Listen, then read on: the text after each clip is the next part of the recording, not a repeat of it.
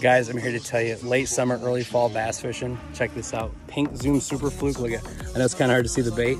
Up here in this thick, heavy grass. guys, this is freaking awesome. You gotta get out here and enjoy this stuff while it still lasts.